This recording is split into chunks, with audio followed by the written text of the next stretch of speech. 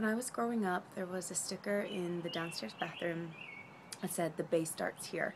I grew up outside of Annapolis near the Chesapeake Bay and it was meant to remind us to save water. And to this day, I am a crazy person about saving water. Um, all through college when I first started living with roommates, um, if they ever ran the water brushing their teeth or doing dishes, I'd walk over and I'd turn it off and I'd say, save water. And it drove them crazy. And I'm really sorry about it, guys. Love ya. But you gotta save water. And, um, and I do it to my husband now too, but he's gonna eventually catch on and, and do it my way.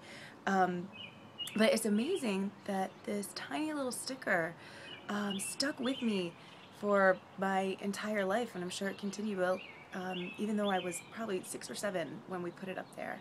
Um, and and even though it wasn't hard to do and I didn't even really know what it meant, I knew I was doing something good. Um, and it's a, it's a small thing, and it really is the, those small things like shutting off the water, turning off the lights, walking um, every now and then instead of driving. Like we can do those things in our everyday, and and that you know that can make you an environmentalist or a conservationist. So um, I just wanted to share that that those habits they make a difference and they can stick with you. Um, so uh, I just, you know, it warms my heart to know that that we all have that power, um, and children have that power. So thank you.